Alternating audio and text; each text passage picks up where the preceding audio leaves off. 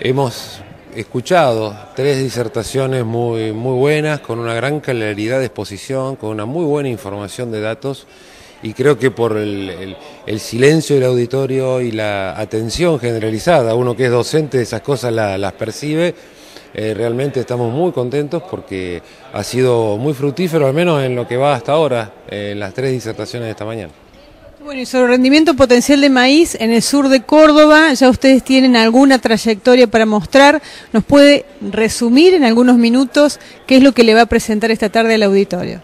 Bueno, un poco nosotros hace ocho campañas agrícolas que sistemáticamente venimos tratando de encontrar cuál es el rendimiento de techo de maíz. Hemos encontrado que en promedio estamos pudiendo producir cerca de 19 toneladas de grano por hectárea, que a su vez esa producción eh, hay que ajustarla en el manejo, sobre todo en lo que se refiere a la elección del híbrido correcto, en la fecha de siembra correcta, en la adecuada densidad y distancia entre hileras que permite maximizar esta producción siempre manteniendo adecuado nivel de riesgo y adecuado nivel nutricional. Entre los principales hallazgos que hemos encontrado es que para lograr 19 toneladas de grano por hectárea es necesario posiblemente subir la densidad de siembra a 120.000 plantas por hectárea, que es una densidad muy superior, te diría en entre un 50 a 70% más de plantas de las que estamos usando en secano, y que para que las plantas estén cómodas y no haya tanta competencia entre ellas, conviene estrechar las hileras, porque al estrechar las hileras, manteniendo la densidad, se separa la distancia que va a cada una de las plantas y eso le da un ambiente más confortable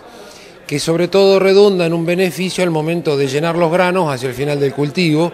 Justamente voy a mostrar datos de lo que es la ecofisiología del cultivo durante la etapa de fijación del número de granos y determinación del peso final del grano. Entonces, bueno, eso acompañado de un balance nutricional con los principales nutrientes deficitarios en la región es la que nos está permitiendo lograr este, este nivel de producción. Ingeniero Espósito, yo voy a ser de abogada del diablo y voy a decir, si un productor escucha esto, ¿qué va a decir? No, pero estos muchachos tienen toda la tecnología, tienen todo el software. ¿Cómo hago yo que tengo 200 hectáreas, no tengo equipo de riego para trabajar bien el maíz? Bueno, técnicas de mejoramiento de manejo del cultivo hemos desarrollado muchas, principalmente en secano. En realidad esto de riego y rendimiento potencial es una cosa de pocos años. La cátedra donde yo estoy durante los últimos 30 años viene determinando cuáles son las mejores técnicas de manejo de cultivo para la producción de secano.